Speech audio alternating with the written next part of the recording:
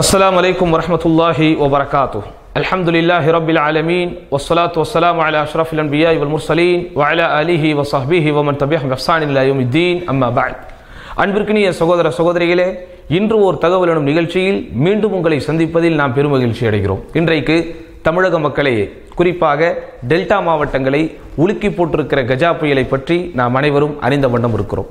அது சீரிய அந்த சீற்றத்தில் இல் அல்லாஹ் சுஹானஹுவத்தாலா ஏற்படுத்தியிருக்கக்கூடிய அந்த இயற்கை சீற்றத்தின் மூலமாக கடுமையான பாதிப்புகளும் மிக கடுமையான ஒரு பின்னடைவுகளும் நம்முடைய சமுதாய மக்களுக்கு ஏற்பட்டிருக்கிறது.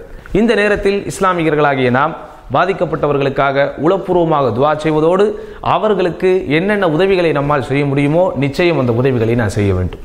இது போன்ற தருணங்களில் இஸ்லாம் சொல்லக்கூடிய அதி அற்புதமான வழிகாட்டுதலும் நினைவூட்டலும் என்னவென்றால் இவைகள் எல்லாமே அல்லாஹினுடைய ஆற்றலினுடைய வெளிப்பாடு.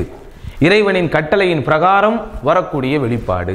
இது போன்ற அம்சங்கள் ஏற்படும் போது இயற்கை சீற்றங்கள் பேரிடர் பாதிப்புகள் வரும்போது நமது இரையச்சம் அதிகப்பட வேண்டும். இறைவன் மீது நமக்கு இருக்கக்கூடிய இந்த ஈமான் என்கிற நம்பிக்கை இன்னும் உறுதியாக வேண்டும். உலகத்தில் இருக்கக்கூடிய இயற்கையை இயக்குகிற சக்தி ஒன்று இருக்கிறது என்கிற அந்த எண்ணத்திற்கு போக வேண்டும். ஆனால் வருத்தத்திலும் வருத்தம் இது போன்ற பாதிப்புகளை ஏற்படுத்தக்கூடிய இந்த இயற்கை பேரிடர்களை கூட இந்த இயற்கை சீற்றங்களை கூட மீம்ஸ் போட்டு இன்றைக்கு சிலர் பரிகசிப்பதை பார்க்கலாம். அவர்கள் அல்லாஹ்வை அஞ்சிக் கொள்ளட்டும்.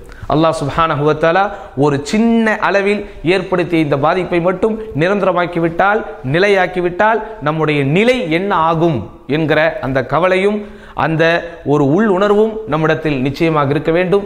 எல்லா